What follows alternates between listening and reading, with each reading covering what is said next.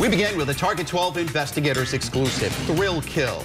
We were the first to break the news of a convicted murderer's early release. And today we also broke the news about which city Alfred Brissette is now living in. New at 6, a city councilor tells us that he's confident in all the precautions being taken to ensure public safety. Eyewitness News reporter Susan Campbell is live in our newsroom. Providence City Councilman Michael Correia tells me his gut reaction to the news was simply why, but he says he knows that Alfred Brissette is now in a secure facility.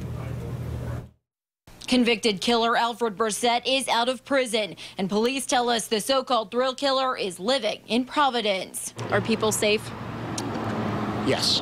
Councilman Michael Correia tells Eyewitness News he met with the director of the facility where Brissette will be living for four months. He says it's a good option to ensure the public safety as well as Brissette's. I can say that the facility that he is at, uh, the location that he's at, there has never uh, been any call for police activity there.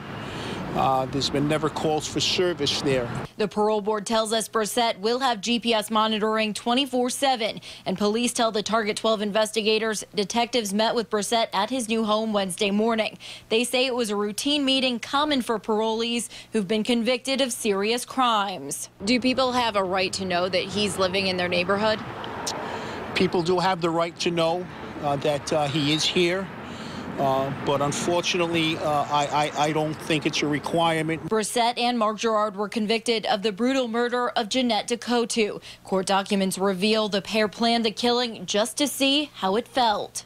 The parole board voted unanimously to release Brissette early. Live in the newsroom, Susan Campbell, Eyewitness News.